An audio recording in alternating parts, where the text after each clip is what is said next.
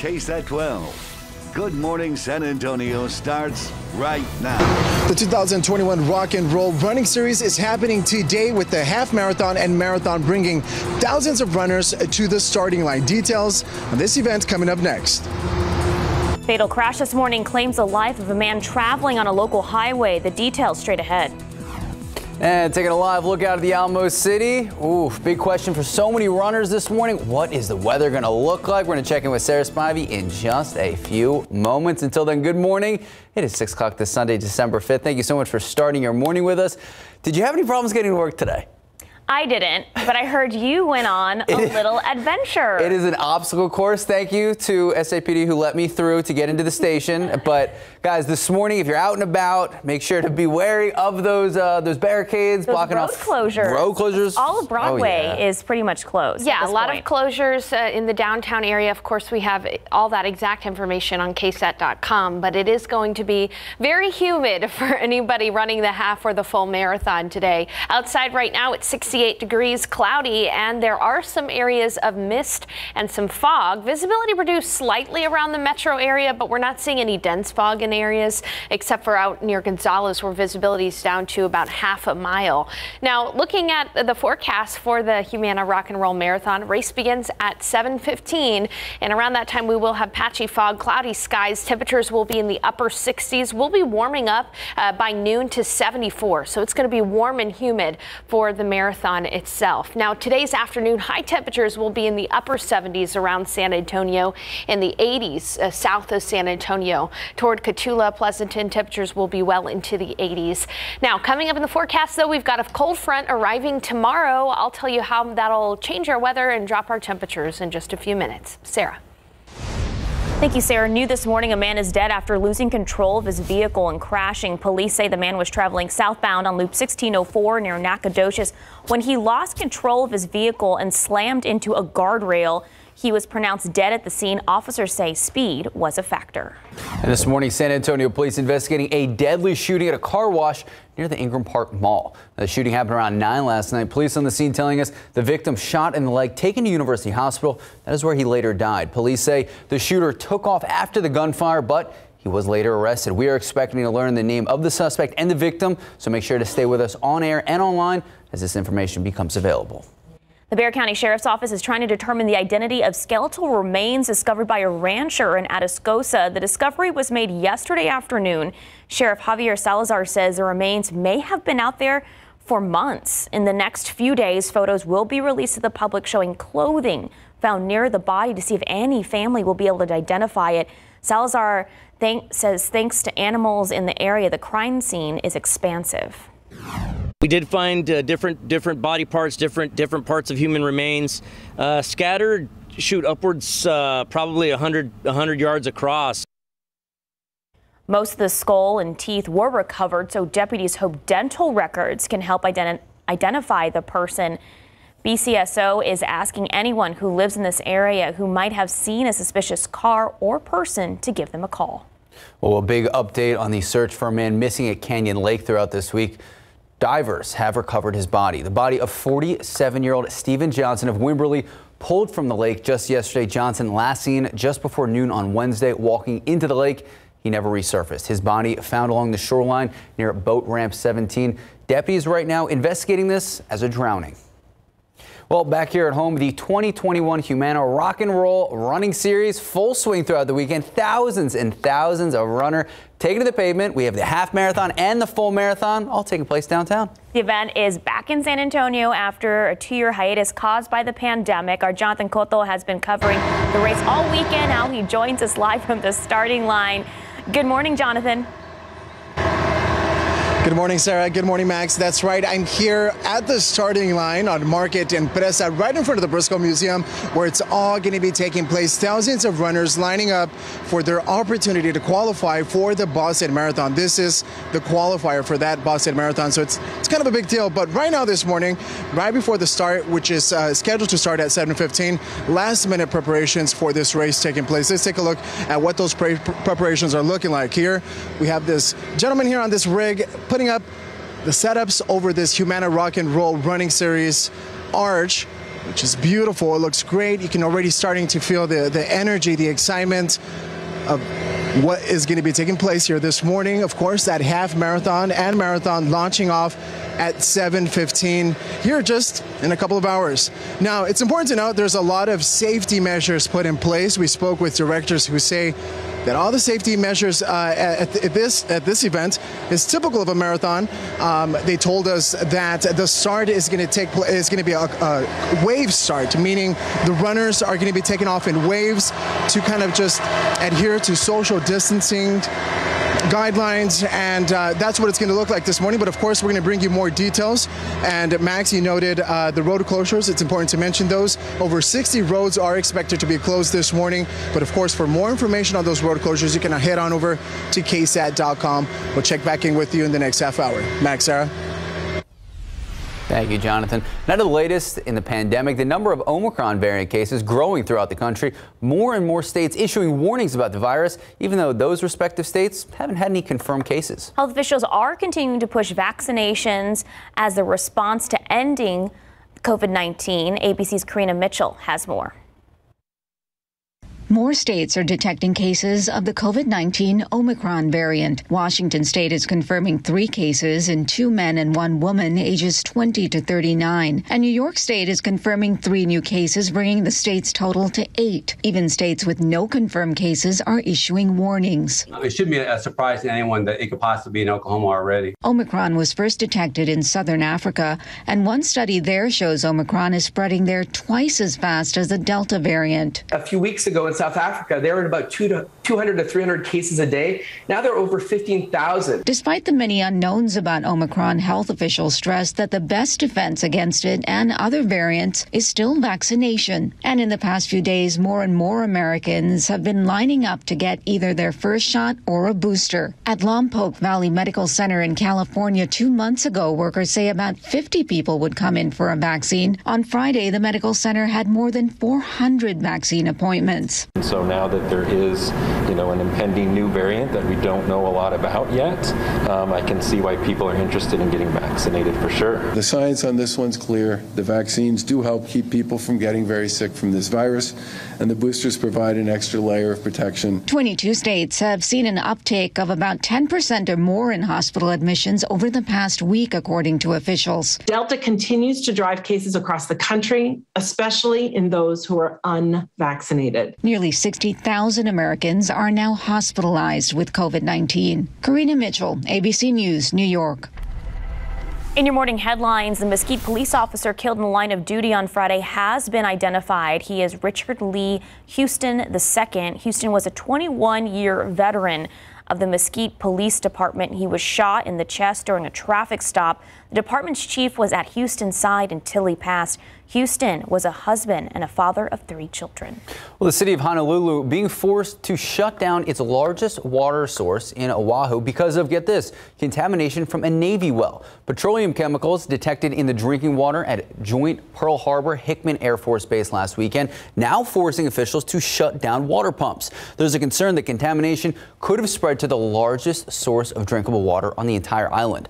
The Hawaii congressional delegation demanding the Navy immediately identify, isolate, and fix the problem. There's a lot of anticipation building as President Joe Biden and Russian President Vladimir Putin are set to speak in a video conference on Tuesday. No word on how long the meeting will last. The talks come as tensions escalate between the U.S. and Russia over a Russian troop buildup on the Ukrainian border. Nearly 100,000 Russian soldiers are said to be on the border of Ukraine. In a statement from the White House, the president will stress concerns about Russia's increased military activities and reaffirm the U.S.'s support for Ukraine. Time now just about 609, 68 degrees out. After finding thousands in stolen money at a Lakewood church, the plumber says he thinks he should get a reward. Straight ahead, find out if he's entitled to one. Go Spurs go. Woo! Go Spurs! What a win last night. We're going to have all the highlights coming up. Plus, look at those jerseys. Pretty cool. All right, 68 degrees at 6.09 this morning. Weather playing a big factor in today's race event. Sarah Spivey will let us know what we can anticipate when we come back.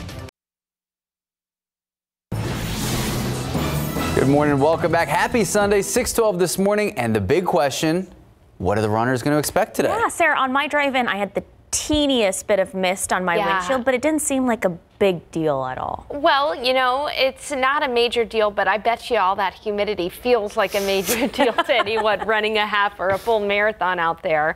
Uh, let's go ahead and take a look outside right now. Cloudy skies, and we really are not seeing visibility limited by too much. Visibility it's still good at 10 miles, but elsewhere we do have lower uh, visibility and some from some fog and some mist. And one of the reasons why visibility is not all that bad uh, right now is because we've got a steady wind from the southeast at about 10 miles per hour, mixing up the air for us. 68 degrees, and it is very humid out there. 68 in New Braunfels, 68 in Canyon Lake, 64 in Kerrville, 68 in Hondo, 71 right now. It's Stinson, already starting off at 70 degrees. You can see that visibility is worse out toward Gonzales down to half a mile, and then limited visibility off to the west in some areas like Castroville, Port SA, Hondo, and Kerrville. That's again where you could probably see some of that mist. Uvalde visibility down to four miles. Let's take a look at the high res future cast. A lot like yesterday, we're really only going to see a few peaks of sunshine during the day today. It'll be a mainly gray Sunday for us. So looking at today's forecast,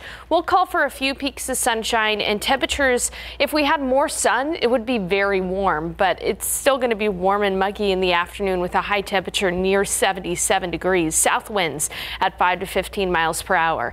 80s elsewhere, like in Pleasanton, uh, Springs, Cotulla, upper 70s for Del Rio, low 70s for parts of the hill country. It's going to stay very cloudy for parts of the hill country today. All right, let's take a look at where our front is. It's currently working its way across the central plains.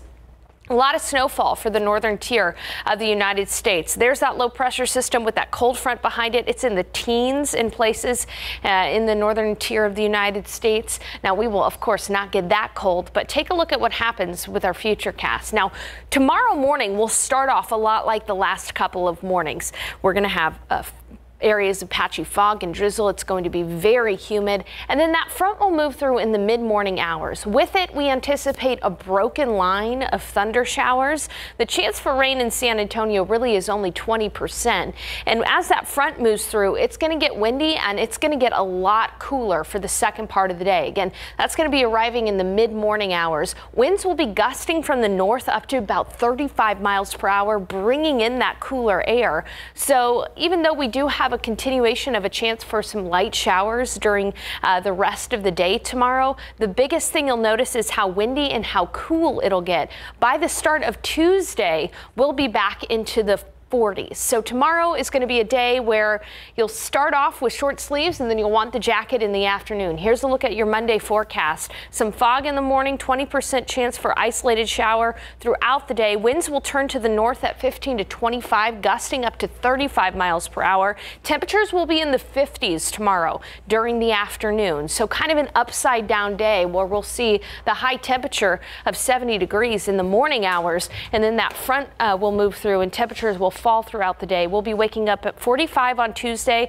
highs only in the low 60s Tuesday, with uh, again rebounded temperatures. By Friday, we'll be at 83 degrees. The record for the day on Friday is 85. We'll be close to record heat on Friday Ooh. before our next cold front moves through Saturday. Mm-mm. All right, Sarah Spivey, thank you so much. You know it was raining? What was raining? The Spurs raining down threes. Look at that. And take a look at these jerseys. The Spurs sporting their City Edition Fiesta uniforms, taking on Golden State Warriors last night. Golden State has been cruising. First quarter, Derrick White stealing the pass, lay it up, drew the foul. Free throw good. Spurs up 13-9. Lonnie Walker, the fourth from distance. Spurs go up 17. They would lead 36-21 after the first. Second quarter, San Antonio with the pace. Lonnie Walker making the layup, giving the Spurs the largest lead of the half, 43-21.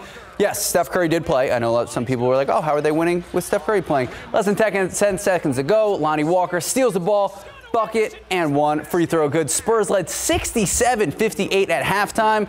End of the third quarter. Curry beats the buzzer. Look at that. I mean, how do you even guard someone from that? He's just after half 99-88 San Antonio after three. Fourth quarter, less than two minutes on the clock. Spurs down by two. Derrick White clutch triple off a missed free throw with 33 seconds left. Spurs handle business and get the win, beating Golden State 112 to 107. Fourth straight win. They are 3 and 1 in their Fiesta jerseys. Don't worry, far from done. Like we always say, long season tomorrow night. Spurs close out a three game road trip taking on the Phoenix Suns. Phoenix Suns just lost the Golden State Warriors. All also, right. I don't know if Devin Booker's playing, so go Spurs, go. They're called the city jerseys. Yeah, City Edition. They're doing well in them. They're pretty sweet. No, Sarah Spivey and I say we're saying we want one. Look good, feel good, feel good, play good. There you go. There you go. 618, 68 degrees out. We'll take the rhythm and the ride. The Samba train. It's back again. Plus, this is a, a new edition of a story we've been following. I love this story. Find out why the plumber who helped police find thousands and thousands of dollars in stolen money may not get a reward. Let's take a look at these lotto numbers. Pick three, one, five, two, Fireball six, Daily four, one, two, six, nine, Fireball four. Cash 5, 18, 20, 22, 27, 32. Lotto Texas 15, 17, 20, 27, 52, 53. Did you play? I didn't. This is a really big jackpot. Powerball 10, 40, 45, 56, 67, Powerball 2, Power Play 2. Good morning and welcome back. The plumber who found thousands and thousands of dollars hidden inside the walls at Lakewood Church in Houston thinks he should get a reward. Even though his discovery helped police find the stolen cash, Crime Stopper says he's too late to collect the reward that was offered. $600,000 was stolen back in March of 2014. At the time of the theft, Crime Stoppers offered a 25,000 reward for information leading to an arrest. But the plumber just found the money. The statute limitations on this particular felony theft case has expired, meaning the plumber will not get any money. That doesn't preclude Lakewood from giving him a reward or um, accommodation from HPD, congratulating him on doing the right thing. But unfortunately, Crime Stoppers is out of the picture at that point. If the plumber had not fixed the loose toilet at the church, the money would still be in the walls. And now Houston police say the investigation is ongoing.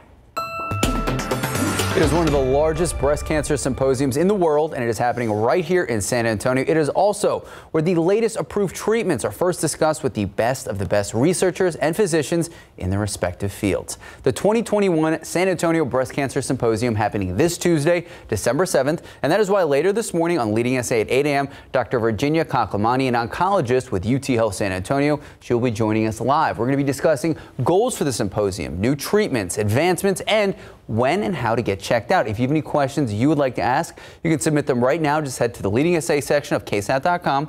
Then join us at 8 a.m. this morning for all the answers. Time now, 623, 68 degrees out. Well, the music train is moving down the track. That story is next.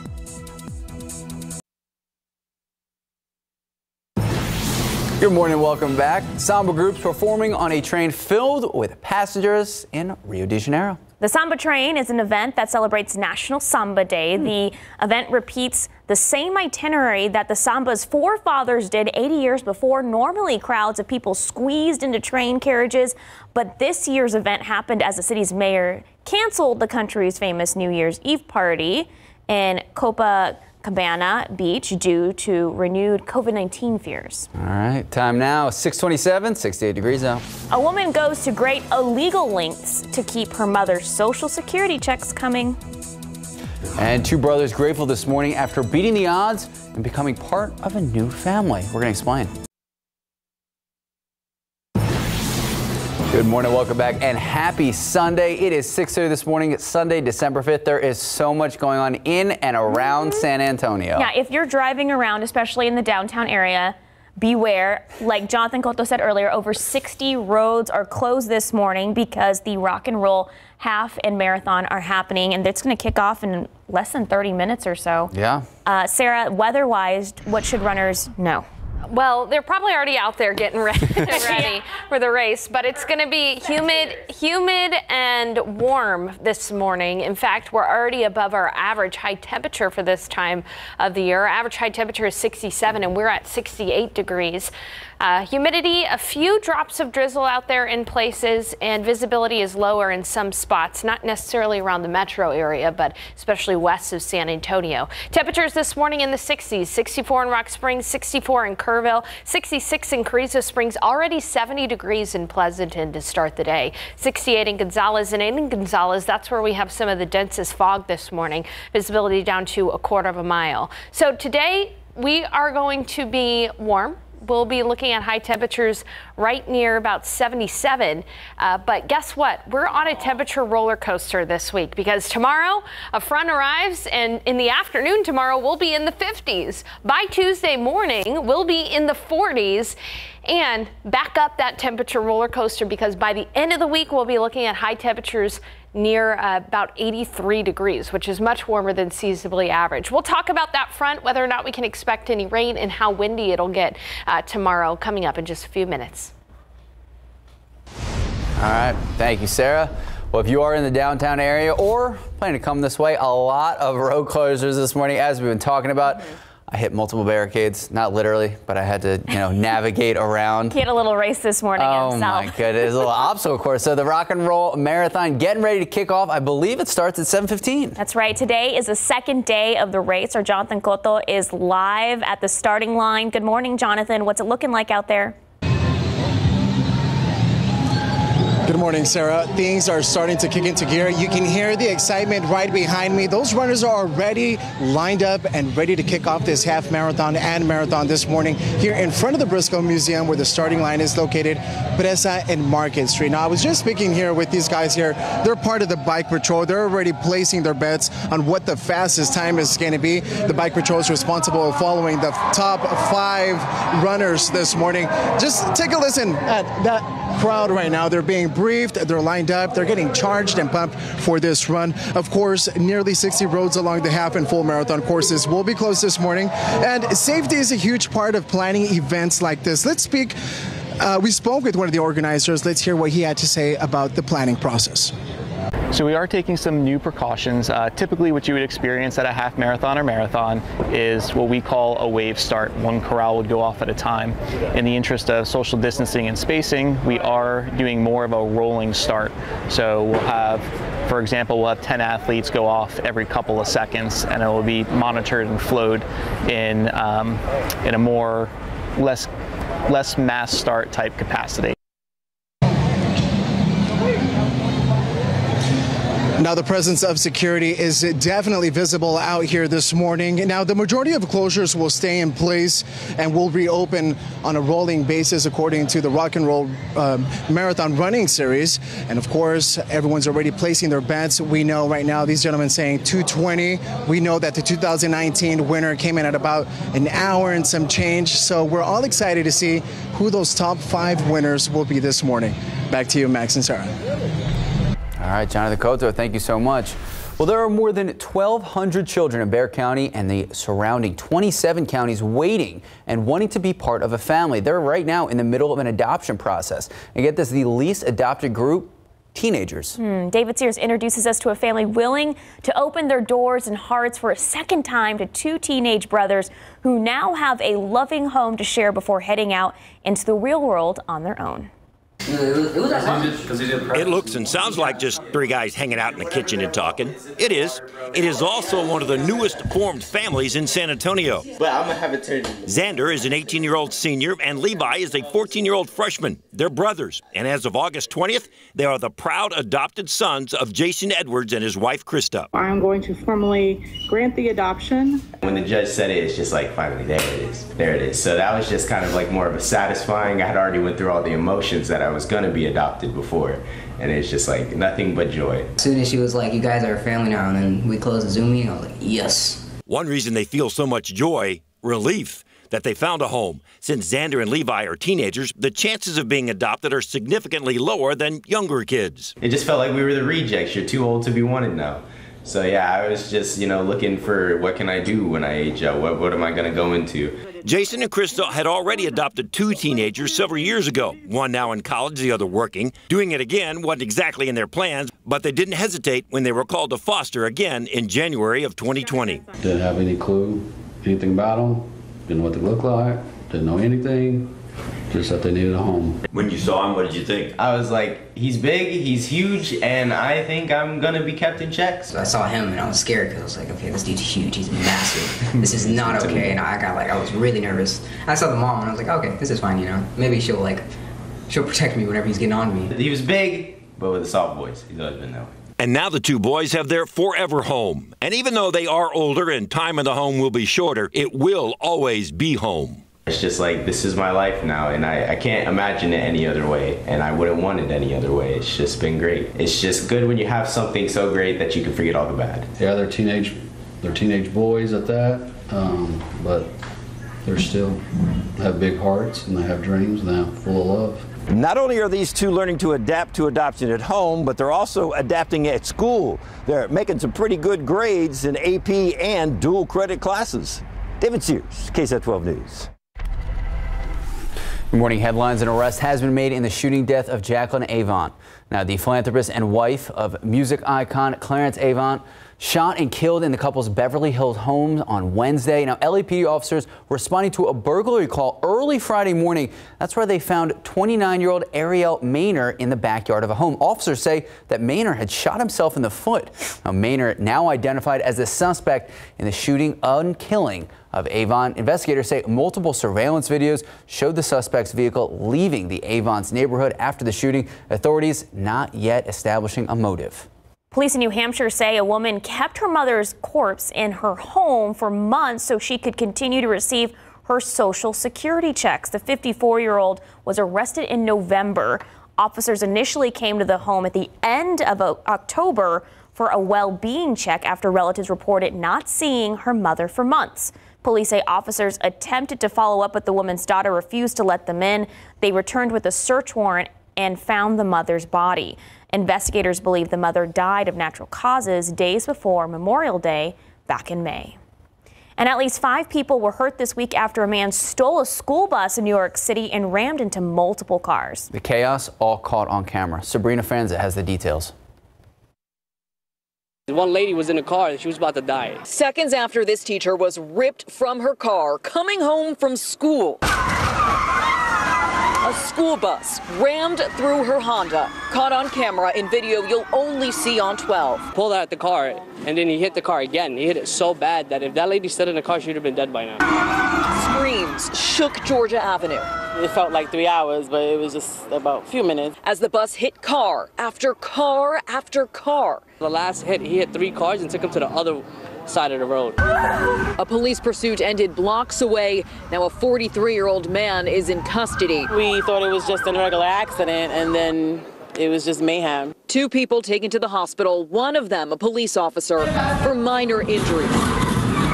Crushing, banging, screaming. It was pretty scary. Thousands of dollars in damage. This is all that was left of that teacher's car. We're safe. Nobody's got hurt, and that's what counts. And that was Sabrina Franza reporting. Time now just about 640, 68 degrees out. We'll still ahead on GMSA looking for something to do today. How about hitting the ice? Ooh. We'll explain. Plus, some NFL action. We saw the Cowboys play on Thursday. We have the Texans today. We're going to have a full preview coming up. 68 degrees at 640 this morning. That rock and roll marathon and half marathon going to start in the next at 7:15, so in the next 30 minutes or so. Sarah Spivey will have our Sunday forecast when we come back.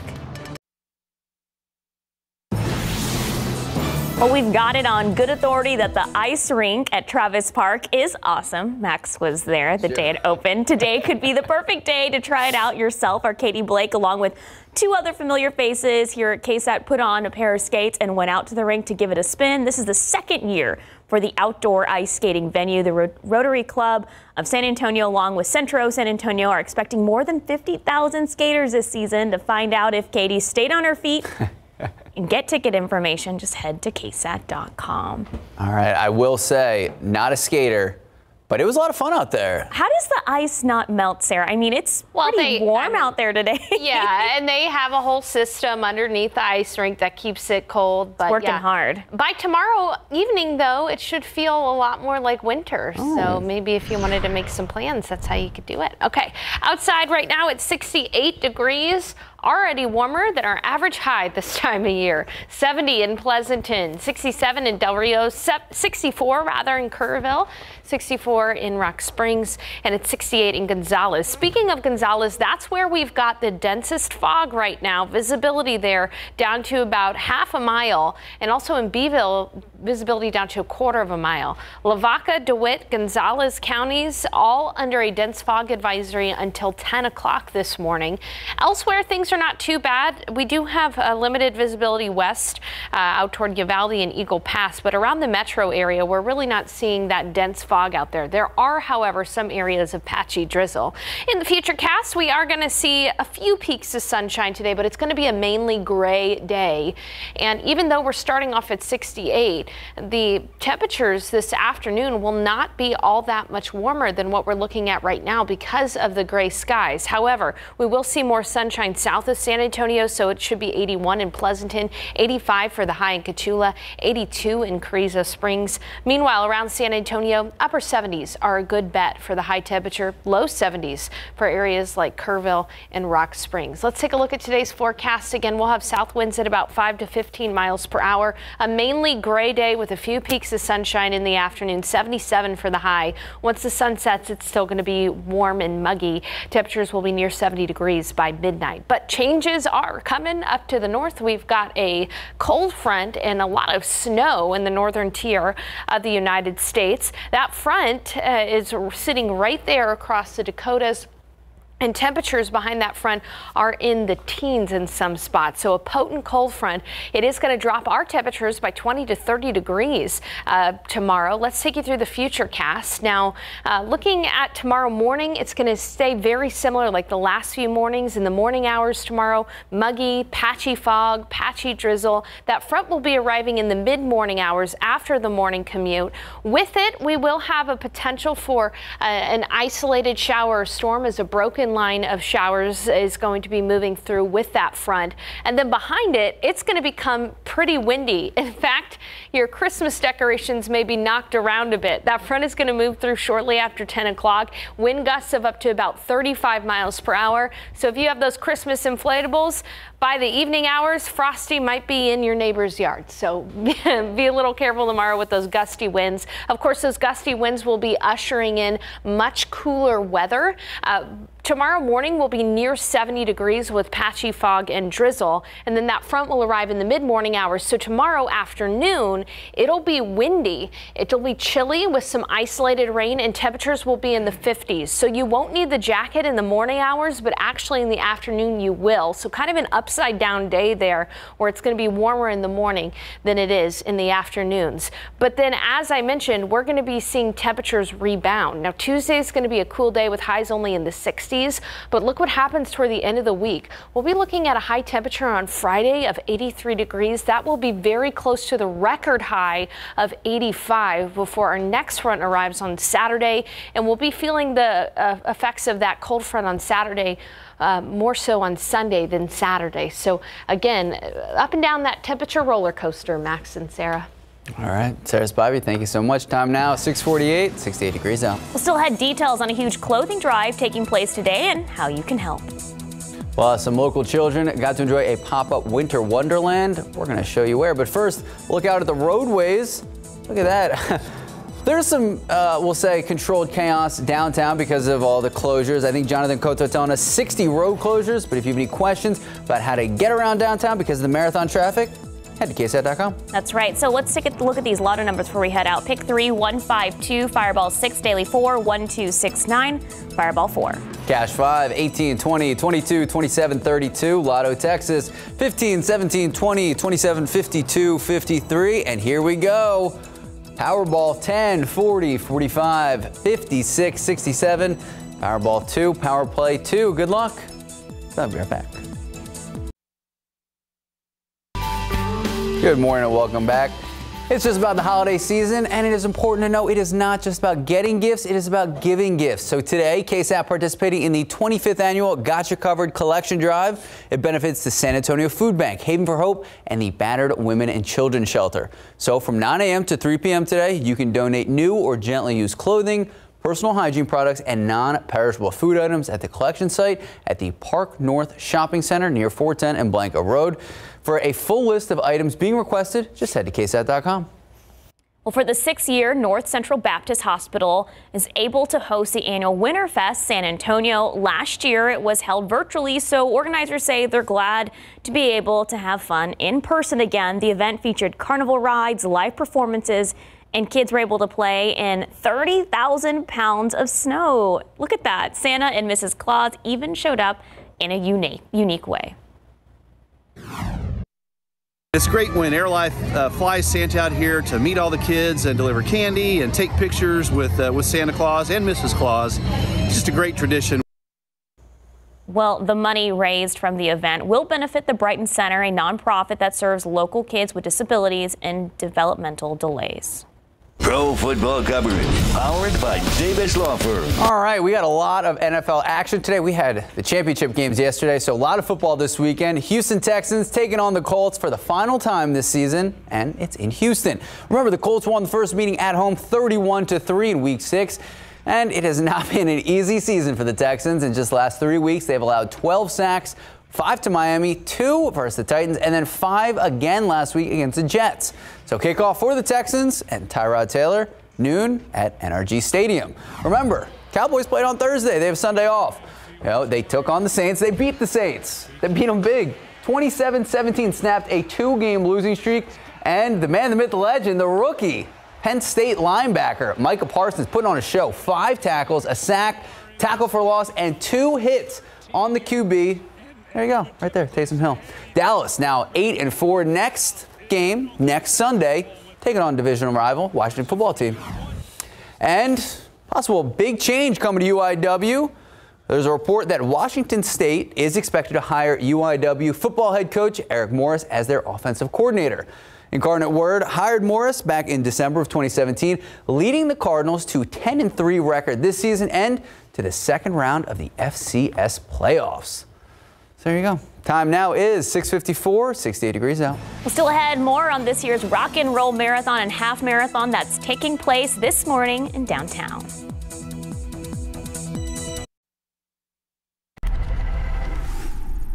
The moment is here. The 2021 Rock and Roll Running Series. Right, After so, a two-year hiatus is here. Runners are pumped up, gearing up here at the starting line of a half marathon and marathon. We'll be following those runners throughout the route. Reporting here at the starting line, Jonathan Cotto, KSAT 12 News. Good morning. Coming up here on GMA, the latest on the Michigan school shooting, the hours the suspects' parents were on the run, what their lawyers are now saying as we learn more about the morning of the attack. We'll speak with the Oakland County Sheriff, Michael Bouchard. Plus, Chris Cuomo fired from CNN, dismissed after questions over how he helped his brother, Andrew Cuomo, during a sexual harassment investigation. What he's saying about his dismissal. And in college football, the shocking upsets shaking up the playoff picture. It's all ahead here on GMA. Near 70 degrees outside right now. I was going to say something about that Alabama Georgia game. It's not totally shocking. No, not that shocking. Alabama winning. What? Oh, wow, crazy. okay, but that's for not, neither here nor there. Okay, we've got muggy weather outside right now. Uh, there are some areas of dense fog, mainly out toward Gonzales and the coastal plains here in San Antonio. We're really not seeing all that much fog, uh, but there are some areas of uh, patchy fog and drizzle. We're going to see only peaks of sunshine today. Temperatures should climb to near 77 degrees this afternoon. South winds at 5 to 15 miles per hour. If you don't like the muggy weather, we get a cold front tomorrow in the mid-morning hours. Temperatures will top off at like 10 a.m. at 70 degrees, and then for the remainder of the day tomorrow, we'll be in the 50s uh, tomorrow. Uh, so again, a pretty potent cold front cooling down in the 40s by Tuesday, highs only in the 60s on Tuesday itself, and then a gradual warm up. By Friday, we'll be back in the 80s for the high temperature, awfully close to a record high temperature, too. So impressive. All right, that rock and roll marathon, half marathon starts at 7:15. We'll have live shots from Jonathan Cotto and hopefully Sky 12. There it is. Boom! We got Sky 12 this morning. I love it. So taking over downtown San Antonio, 60 road closures. If you're out and about, say hello, cheer these runners on. Look They've been those waiting for this moment for a long time. Hey, we'll see you back here at 8 a.m. Live from KSAT 12.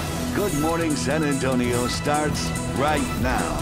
A major crash shuts down part of the highway overnight. How this crash happened and your other top stories, that's still ahead.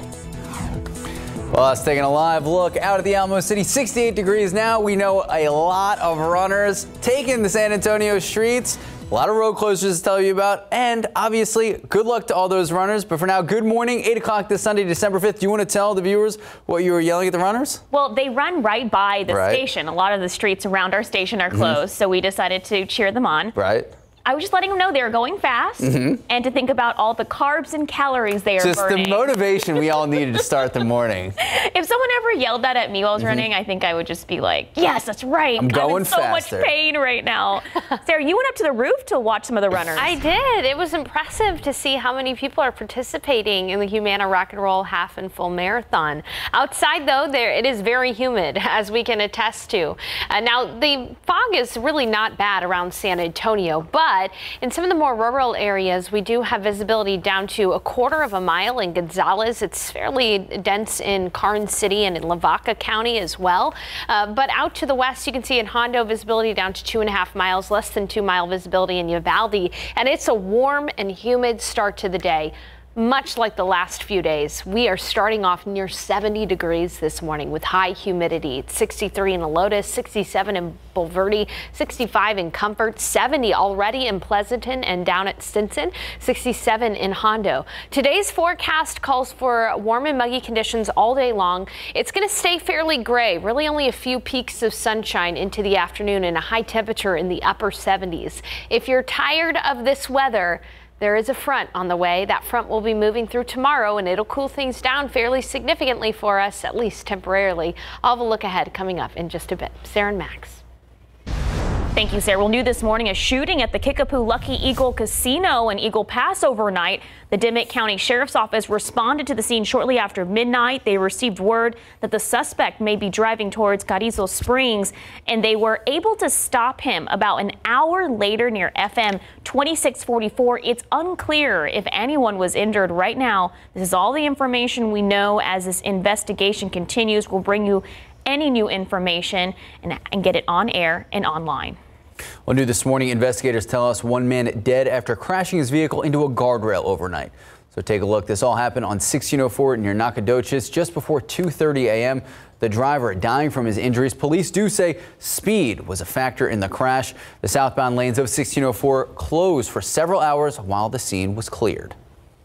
A party at a Northwest Side apartment complex takes a violent turn after one person was stabbed. This happened around 345 this morning at a complex on Babcock Road near UTSA Boulevard. Police say a group of guys showed up and tried to get into the party, but a man at the door wouldn't let them in.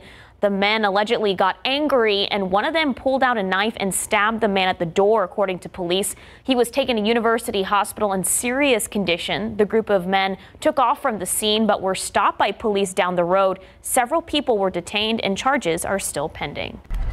Well, happening right now, something we've been talking about all weekend long. Rock and roll marathon and half marathon going on right outside the station. That's right. They're all over downtown. I know about 60 roads are closed, but Jonathan Cotto, he is live. I think you're following a group of runners. Jonathan, what are you seeing out there? Hey, Sarah. Well, I'm here not too far away from the station in downtown off of Austin. We are following the runners closely on this route. And let me tell you, it's been nothing short of impressive. The runner we have in the lead right now is JLS, initials JLS Marin from Mexico, bib number 1302. He is running an incredible pace, an incredible mile. Let me tell you, it's four minutes and 54 seconds, the pace that he is at.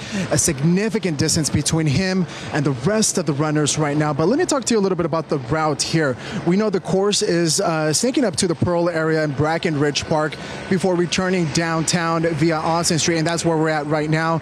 The split for the half marathon is at Nolan and Olive Streets near Dignowity Park, and from there, the half marathoners will make their way back to Hemisfair, while full marathoners will continue through the east side. Now, here at the distance, we just passed a stretch of mariachis playing music for the runners as they finish their course. There at the distance, you can see Marin making uh, significant grounds here.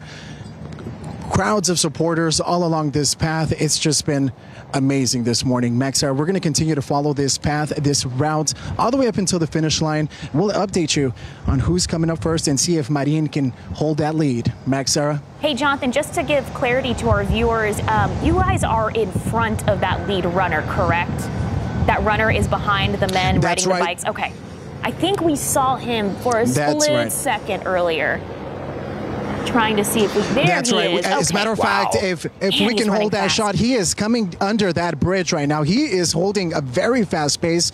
You can see him there at the distance. We are following him in a truck that has a, a, a timetable here, keeping track for him. And of course, the cyclists here you see at the distance with the green vest, they are part of the bike patrol, just making sure that everything is squared away and safe for the runner. But you can see him there at a distance. There is nobody behind him. Fast pace, definitely a fast pace. Max Sarah.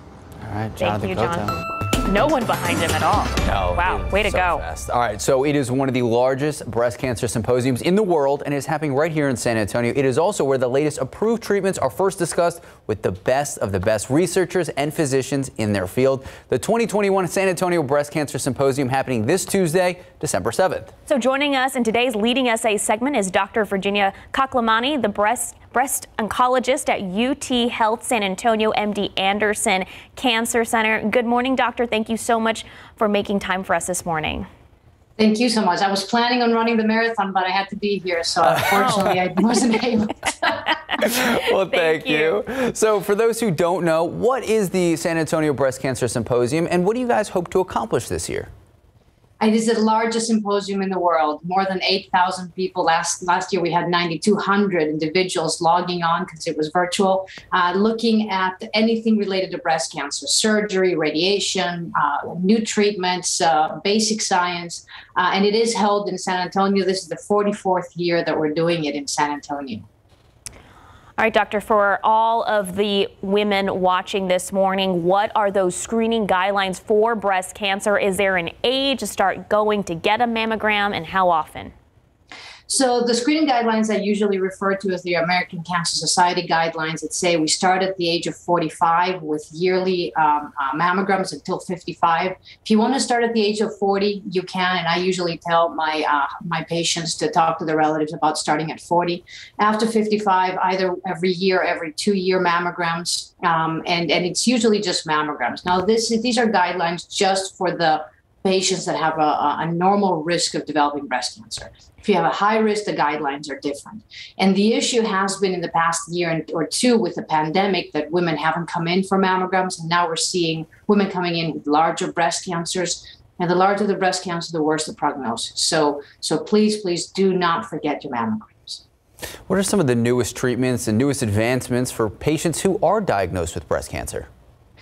So what we're focusing more on is what we call targeted therapies. And targeted therapies are where they target the cancer and not the whole body. We've relied on chemotherapy way too much, and chemotherapy kills every fast growing cell in the body, which is why women lose their hair. They have other side effects. But with the targeted therapies, those therapies are smart enough to just go to the cancer and therefore cause fewer symptoms and also work best. And the most, the newest ones are the ones that uh, focus on, on strengthening our immune system to kill the cancer cells. Well, you talked about it earlier. Getting a mammogram is one of the best ways to prevent breast cancer. Um, I know there's been other things like knowing your history, or there's even some people that get their the genes detected to see if they have the breast cancer gene. Is, is that actually working? Is that a way to prevent breast cancer? This is really extremely important. And that's why we need to be our own best advocate by telling our physicians what our family history is. If a woman has a pretty strong family history of breast cancer, or ovarian cancer, then she's eligible for genetic testing. And that testing will tell us whether she carries a gene that's changed a little bit that might predispose her to getting breast cancer. And with that, we can offer prevention, such as having bilateral mastectomies for certain women or medications that we can give them to help prevent breast cancer. All right, Dr. Kaklamani, thank you so much for joining us this morning. Anyone who missed any part of the interview, we're going to have the full thing on ksat.com throughout the morning. Thank you. Thank you. Well, if you're going to be driving on the city's south side today, be aware that CPS Energy crews will be doing some construction on Loop 410 west of Roosevelt Avenue. Crews will occasionally have the road closed to work on equipment and install overhead lines over the highway. CPS will be working on both sides of Loop 410 between 7 a.m. and 2 p.m. The highway and frontage roads will have periodic stops during that time. All right, time now 8:10, 68 degrees out. High school football playoffs continued yesterday, Max. We had so much football this weekend, and yet still not enough. Two local teams, we got highlights, scores, and all the best. Look at that. We made a miss right in the open field. You love it. We're going to have it all.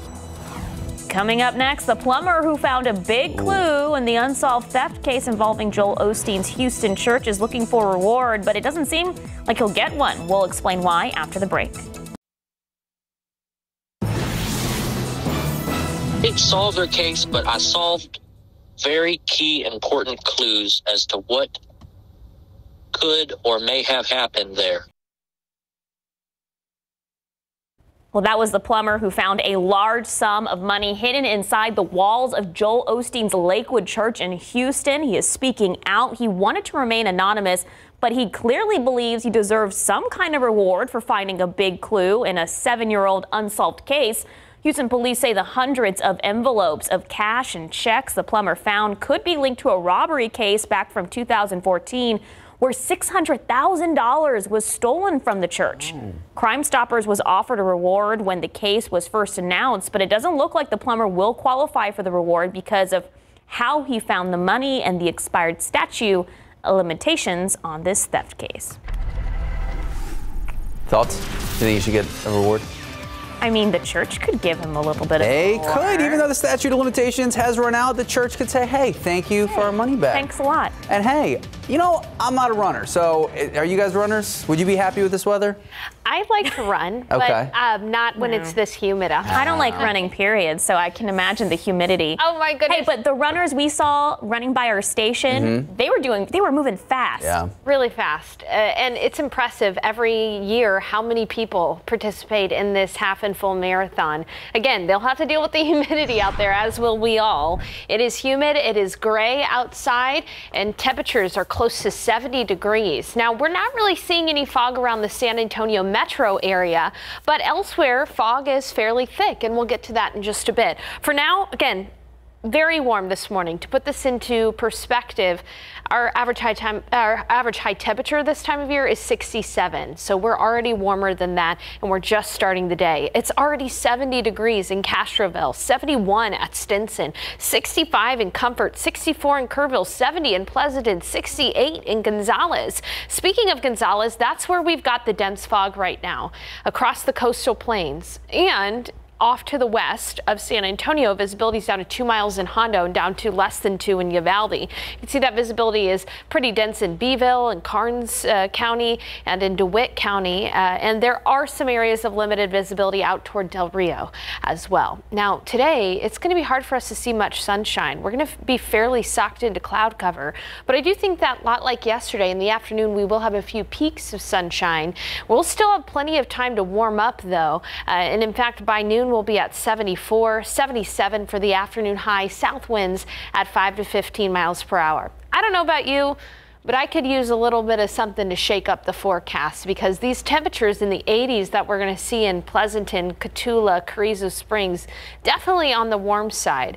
We've got a front well to the north of us right now. In fact, it's working its way across the northern tier of the United States. You can see all the snowfall extending from the upper Rockies all the way out to the Great Lakes. There's that low pressure system with the associated cold front. You can see that the nation is fairly divided between uh, the warm uh, southern states and these cold temperatures up in the northern tier. It's 10 degrees in Cut Bank right now. Now, we're not going to get to freezing in San Antonio, but we are going to see temperatures fall by up to 30 degrees by Tuesday morning. So let me take you through the future cast for us. Tomorrow is going to start off a lot like the last few days, where tomorrow morning we'll have uh, muggy conditions with some areas of drizzle. And warm uh, temperatures too will be near in the uh, mid to upper 60s tomorrow morning. But as that front moves through in the mid morning hours, we'll see a broken line of thunder showers moving through. It's not a good chance to see some rain in San Antonio, only a 20% chance, but there is that chance right when the front is moving through in the mid morning hours.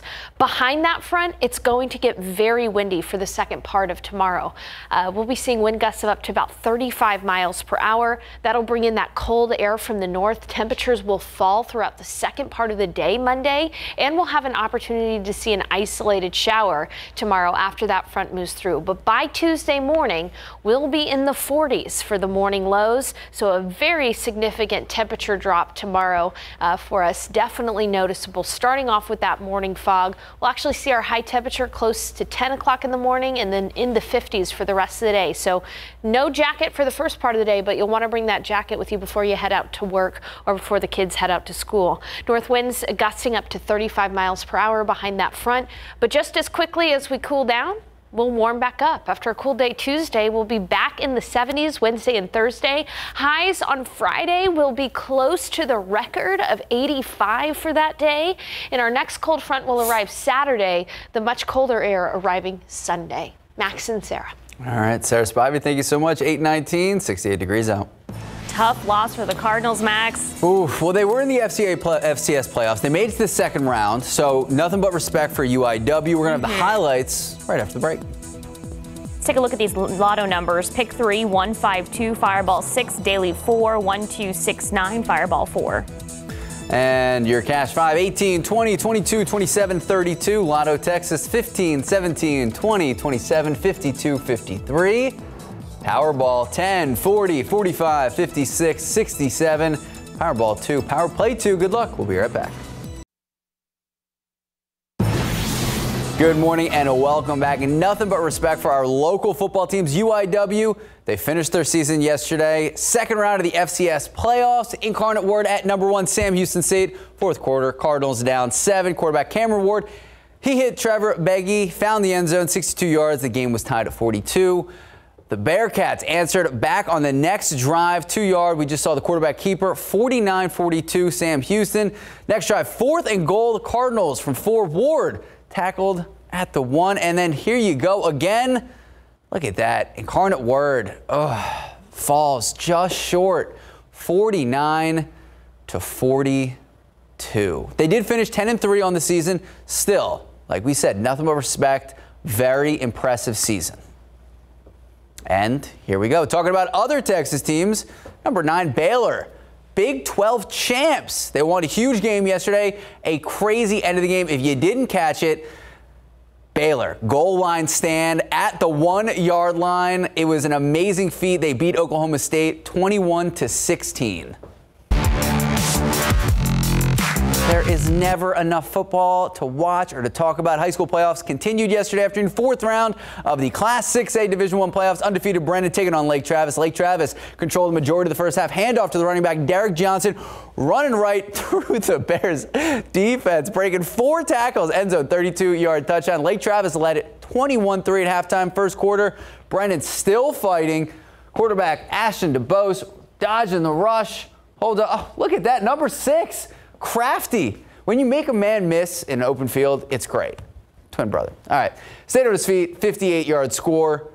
Not enough to complete a comeback, though. The Bears fall in the state quarterfinals, 42 to 17. Now, the only local team playing yesterday, Fredericksburg season also coming to an end.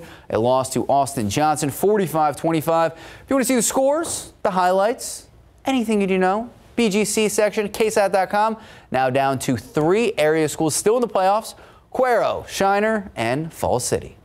Pro football coverage powered by Davis Law Like I said, never enough football. It continues today. NFL action. We saw the Cowboys win a huge Thursday night. We got the Texans today hosting the Indianapolis Colts, noon, NRG Stadium. It's been a, a tumultuous season for the Texans. Yeah. Just a little bit. Also, huge shout to the Spurs last night. Big win over Golden State. They're going to continue. Next up, they play the Phoenix Suns. We're going to have highlights in the next half hour. We also have a couple of updates from some top stories we've been following. We'll have that after the break.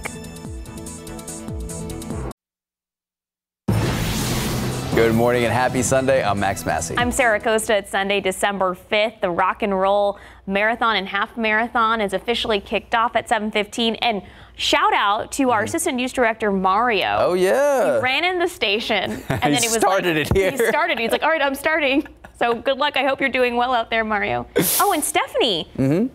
She's Stephanie Sterna. She's actually running. She's running the half, I believe. I think so. Half of the half. Or did she run yesterday? She was- she's running the half Yeah, she's marathon. running the she half is running marathon. yesterday too, and she's out there now. Wow, Wait, double she ran yesterday too? Yeah, a lot of people do that as like a warm up. Oh, I, I'm not a lot of people like that, Sarah. All right. Let's take a look outside with uh, live cam. We've got some cloud cover out there right now. It is muggy, uh, and that is an understatement. It's it's just plain old humid outside. Uh, dew points are in the mid to upper 60s. It is near 70 degrees, completely cloudy out there, and in some places there is some fog, especially across our coastal communities uh, and off to the east in Gonzales. Visibility is down to a half a mile. It's down a half a mile in Beeville as well, as low as a mile and a half in Uvalde, and as low as two and a half miles in both Kerrville and in Hondo. Uh, so around the metro area, though, we're not really seeing uh, any fog. Uh, things are just cloudy and humid, and we're going to go up and down the temperature roller coaster over the next few days. I literally built a roller coaster for this, so I'm pretty pretty proud of it. All right, today we'll be near 77 uh, or 78 degrees, and then tomorrow a front is going to move through. During the afternoon tomorrow, we'll actually be in the 50s, and by the start of Tuesday, we're going to be at 45 degrees in the morning. Then guess what? We got to go back up that temperature roller coaster. By Friday, we will be in the low 80s for the high temperatures. That's close to the record. So we've got a lot to unpack in the forecast. Obviously, I'll have more details on that front, how windy it'll get, and if we can expect any rain coming up in a bit. Max? Thank you, Sarah. New this morning, we now know the name of the man killed in a motorcycle crash from this past Wednesday. 25-year-old Saul Eduardo Mendoza. Now, we know the crash happened near TPC Parkway in the far north Bexar County. Uh, the sheriff's office says Mendoza lost control of his bike, crashed, falling off the motorcycle. They say he was not wearing a helmet. Another top story we were following this morning, a man killed at a car wash near Ingram Park Mall. This all happened around 9 last night at the corner of Northwestern Drive and Wurzbach Road. Police still trying to figure out what exactly caused the shooting, what led up to it. Uh, they have arrested the man they believe fired the shot. He's identified as 18-year-old Cesar Martinez, and he is being charged with murder. The man killed has not yet been identified. A driver killed in a crash and his truck went up in flames. This happened on the far northwest side yesterday evening. This happened on Culebra Road near Roft Road. That's outside Loop 1604. Witnesses told police the man's truck went over the center median and he lost control, hit a guardrail, and went into a creek before the truck burst into flames. Officer tried to get the man out of the truck but were unable to. The driver has not been identified yet. And we are still waiting to learn more information about a body found in a far south, southwest Bexar County yesterday afternoon. Sheriff Javier Salazar says a rancher was surveying his property. He found a foul odor. Now, when he went to check out what it was, it appeared to be human remains. Authorities called to the scene. They began their investigation still very early on, but the sheriff says based on clothing, the remains could be that of a man who passed away sometime during the summer. He does believe foul play was involved, but investigators still trying to piece everything together, trying to figure out what exactly happened. In your morning headlines, the parents of the 15-year-old boy accused in the Michigan high school shooting are in separate cells this morning in the same Michigan jail as their 15-year-old son. The mother and father are now facing involuntary manslaughter charges. Police say now they were found hiding, the parents found hiding in a vacant building in Detroit after having withdrawn $4,000 from an ATM. The judge imposing half million dollar bonds for both parents. Trevor Ault has the latest. This morning, James and Jennifer Crumbley, the parents of the accused Oxford High School shooter, each being held on half a million dollars bond. Good afternoon. Please be seated. The couple pleading not guilty to four counts each of involuntary manslaughter. Jennifer Crumbley fighting tears. How are you pleading to count four? Not guilty. James Crumbley shaking his head at the prosecutor's accusations. Your Honor, this is a very serious, horrible, terrible murder and shooting, and it has affected the entire community. And these two individuals could have stopped it. Prosecutors called the Crumbleys a flight risk after the couple missed their arraignment Friday, saying they withdrew $4,000 from an ATM and were arrested after an hours long manhunt led to them being found in an empty Detroit warehouse. But the couple's attorneys insist they weren't trying to flee. But our clients were absolutely going to turn themselves in. It was just a matter of logistics. They're now in the same jail as their son, who's pleaded not guilty to four counts of first degree murder and terrorism. But the family is not together. No talking, no communication. They're all three in isolation. Prosecutors say James Crumbley had his son with him as he bought the handgun on Black Friday that was later used in the rampage that left four students dead. And the school now addressing criticism of its actions leading up to the shooting. The prosecution alleges that morning a teacher reported a picture the suspect drew of a person appearing shot with disturbing phrases like blood everywhere and the world is dead. The Crumbleys were called in, but their son was sent back to class. The superintendent now saying in a statement the suspect claimed the drawing was part of a video game he was designing and informed counselors that he planned to pursue video game design as a career. Then, while waiting for his parents, the teen asked for his science homework, and at no time did counselors believe the student might harm others based on his behavior, responses, and demeanor, which appeared calm. And the superintendent says the morning of the shooting, the Crumbleys flatly refused to take their son home. And given the fact that he had no prior disciplinary infractions, the school felt it was better to send him back to class than to send him home to an empty house. But having said that, the superintendent is now calling for a third party investigation into the events that led up to this shooting. Trevor Ault, ABC News, Oakland County, Michigan. Now to the coronavirus cases rising in the U.S., the highest daily average in two months. The U.S. now averaging more than 96,000 new cases a day. This as scientists in South Africa say the Omicron variant is spreading twice as fast as the Delta variant. Despite the many unknowns about Omicron, health officials stress the best defense against it and other variants is still vaccination. There are still no confirmed Omicron cases in Texas. President Joe Biden and Russian President Vladimir Putin set to meet in a video conference setting on Tuesday. A very important meeting because this all comes as tensions escalate between the United States and Russia over the matter of Russian troops building up on the Ukrainian border. Nearly 100,000 Russian soldiers are said to be on the border of Ukraine. White House Press Secretary Jen Psaki said President Biden will express U.S. concerns about Russian military activities on the Ukrainian border and will reaffirm U.S. support for the sovereignty and territorial integrity of Ukraine. CNN has fired anchor Chris Cuomo. This comes after details emerged about how Chris Cuomo tried to help his brother, former New York Governor Andrew Cuomo, during allegations of sexual harassment surfaced. The network suspended Chris Cuomo earlier in the week to investigate his involvement with his brother's defense. CNN hired a law firm to review that case. The firm recommended Chris Cuomo's termination. Cuomo issued a statement on Twitter calling the decision disappointing. Even with the firing, CNN said it will continue to investigate his conduct. Well, back here at home happening right now, the Humana Rock and Roll Running Series happening. We have the marathon and the half marathon, and we had some runners already finish the half marathon. Whoa, that's that's too fast for me, but hey. Good luck to them. Hey, but Jonathan, okay, so earlier, Jonathan Cotto, you were live on the back of the truck following those lead runners. Where are you now? That's right, Sarah. Well, right now I'm located just in front of the finish line where those runners are coming through. Very excited to finish with excellent times. Now, the runner we were following closely won this half marathon is standing right next to me along with second and third place. Muchachos, muy buenos días. ¿Cómo se encuentran este día?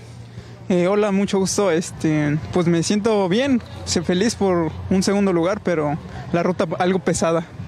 Now, th- these fellas are joining us from Mexico City. He just said that he is happy that he was able to complete uh, the, the half marathon, coming in at second here. Marín, you took first place, tomaste el primer lugar en este medio maratón. ¿Cómo te sientes el día de hoy? How do you feel today? Hola, buenos días. Este, pues me siento muy contento, feliz de haber hecho más que nada una marca este, bien a pesar de la ruta que estuvo un poco pesada. Este, hice una buena marca. Now, he just shared with us that the route was a little tough, uh, very extensive and uh, challenging, but he's very, very happy with the outcome and the timing of his results. Now, Marín, uh, we, tuvimos la oportunidad de verte durante la ruta. Mantuviste un, un, un tiempo muy rápido, una, un paso muy rápido. You maintained a very fast pace, una milla de casi cinco minutos, uh, a mile at under five minutes. Um, háblame un poquito de entrenamiento. Talk to me a little bit about the training behind this this half marathon. Sí, pues en, en, realidad este, yo quería correr lo más rápido posible, este, acercarme a mi marca personal que es una hora 1, 11 segundos en el Mundial de Gignia, Polonia. Pero pues viendo la ruta, conforme fui avanzando, vi que tenía bastantes subidas y retornos y pues ahora sí que la mentalidad fue mantener lo mejor que pudiera el paso y pues ahora sí que los entrenamientos vamos bien, vamos este, trabajando con mis compañeros de Gondi MX este, haciendo buen equipo y pues para las siguientes competencias. Muchísimas gracias, Marín. Tercer lugar, ¿cómo te sientes? How do you feel? Me siento bien. I feel very happy to be here in, in San Antonio. Uh, a very hilly crew course, but uh, this is a test for us uh, in preparation to for, the Houston Marathon in in, in like six weeks. Muchachos, muchísimas gracias. Thank you so much for joining us this morning and congratulations. Felicitaciones. There you have it, Max and Sarah from Mexico City, the top three finishers here in this half marathon this morning, finishing with some impressive times. Send it back to you, Max and Sarah. Thank you, Jonathan. That was fantastic. I love the one of the runners behind him grabbing all the snacks. Yeah, he's just like, I'm just happy to have Look, snacks. After 13 plus miles, I would need snacks yes, too. burning lots of carbs. Time now 841, 69 degrees out. Go Spurs, go! What a night for the Spurs and all of the Spurs fans. We're going to have the highlights. Big win over the Warriors. Welcome back. The last remaining member of World War II's Band of Brothers has passed away. Army Colonel Edward Shames, the last surviving officer of the historic World War II Parachute Infantry Regiment, the U.S. Army known as Easy Company. He died Friday at the age of 99 years old. According to his obituary, now, Shames made his first combat jump into Normandy on D-Day as part of Operation Overlord. After the war, Shames worked as an expert on Middle East affairs with the National Security Agency, later served in the U.S. Army Reserve Division, and retired as a colonel. A graveside service will be held at Forest Lawn Cemetery in Virginia later today. Thank you for your service. Taking a look outside with live cam, 69 degrees at 845 this morning. Sarah, that kind of fog or uh, haze in the in the sky has kind of just been lingering all morning long. Yeah, and over the last few days too. It has just been humid over the last several days, especially for the start of December. You know, we usually see a high temperature right around 67 this time of year. We're at 69 degrees. We're already warmer than our high temperature uh, usually is. 69 in New Braunfels, 66 in Uvalde, 68 in Del Rio, 66 in Beeville, and 71 in Cotulla. Already 71 in Cotulla. Visibility Visibility is lower in many places, not necessarily around the metro area, but as you can see, visibility down to a mile and a half in Pleasanton, down to two miles in Uvalde, and two in Hondo. This is, of course, because of some areas of patchy fog out there. Visibility down to a mile in Gonzales and even down to four miles in Del Rio. Take a look at the futurecast. It's going to be difficult for us to see much sunshine today. We will probably see a few peaks of sunshine here and there, but all in all, our thermometer should only rise by about 10 degrees in many places. We'll be looking at a high temperature in the upper 70s around San Antonio, but the low 80s in Pleasanton, 82 in Carrizo Springs, and uh, upper 70s for Del Rio. It's going to stay fairly cloudy in the hill country too, and Kerrville should only be 73 degrees for the high. Now that is still warmer than seasonably average, and it's going to be muggy all day long. So today's forecast calls for, again, gray skies, a few peaks of sunshine in the afternoon, south south winds at 5 to 15 miles per hour. And when the sun sets at 535, we're not going to need a jacket at all. It's going to be still near 70 degrees by midnight. But we are expecting a change tomorrow. Now, a cold front, which is currently in the northern tier of the United States, is going to be moving through. Look at all the snow across the northern tier of the United States from Montana all the way out to the Great Lakes. There's our cold front right now, and temperatures are impressively cold behind this front. It's 29 degrees in Casper, Wyoming, 10 in Cut Bank, Montana. Uh, now, we are not going to get that cold, but this front is going to shape up to move through around the mid morning hours uh, tomorrow. Now, until then, though, the morning commute tomorrow will be a lot like the last few days, where it's just going to be muggy and warm, and there will be some areas of patchy drizzle and fog. But that front will move through in the mid morning. With it will come a broken keyword there, broken line of thunder showers, not a big washout by any means. And then behind that front, it's going to get very windy. So if you have any Christmas decorations, especially Christmas inflatables, know that once that front moves through, winds could gust up to about 35 miles per hour. Frosty there, he might be in the neighbor's yard if you don't tie him down uh, fair, fairly securely. Uh, so again, that those gusty winds are going to bring in some much cooler air. In the morning, you won't notice much of a difference. Fog and drizzle near 70 degrees. But mid-morning hours, that front moves through. So in the afternoon, it's going to be windy, it's going to be chilly, and there could still be some isolated rain in spots as well. Temperatures will be in the 50s with a stout wind from the north. So you're definitely going to need that jacket tomorrow afternoon. So a bit of an upside down day where the warmer part of the day is going to be in the morning and then it'll be chilly in the afternoons. Looking at the seven day forecast, it'll stay cool through Tuesday as temperatures will be in the 60s. But by Friday, we're going to be back up into the low 80s for the high temperature. That's going to challenge Friday's record of 85. Then a front will move through on Saturday. That'll cool us back down, especially by Sunday. Max. That's Bobby. Thank you so much. Huge win for the Spurs. Go Spurs, go. Taking down Golden State Warriors last night. Let's take a look at the highlights. First quarter, Derrick White steals the pass. Then, wait for it. Could he go coast to coast? That's an and one, ladies and gentlemen. Spurs led 13-9. Cue up Lonnie Walker the fourth from distance. The Spurs go up 17. They led 36-21 after one and 67-58 at halftime. Third quarter closing seconds. I mean, come on. Derrick White getting everyone hyped up. It was really good. I mean, just nothing but love. Anyway, Steph Curry hit basically a shot from almost half court. 99-88 San Antonio after three. The Spurs hold on fourth quarter, less than two minutes ago. The Spurs were down. Derrick White making a clutch triple. 107, 106 San Antonio. DeJounte, the layup, 33 seconds. The Spurs do it. They beat Golden State 112 to 107. They've been doing the same things for years and years. So you know, it's it's definitely a, a great learning lesson for us, uh, win or lose, you know. But we came out with the win, and as you seen, was playing really well. Uh, was up, but we knew, you know, with Golden State, your lead's not safe. Uh, that's a team that don't quit, so we had to keep our uh, composure and just fight, fight, and uh, I think that's what we did, and uh, we got the win. Got to be relentless. Next up, Spurs closing out their three-game road trip tomorrow night, eight o'clock. Phoenix Suns. Our director, of Flowers, told us, you know, you haven't talked about Jakob Poeltl in a long time. He had an awesome block on Steph Curry last night. Just oh, I saw you uh, tweeted that out. Yeah, yeah, I put it on the Instagram story. Yeah. There you go. Shameless plug to my Instagram. Time now, 8:51, 69 degrees out. We'll be right back.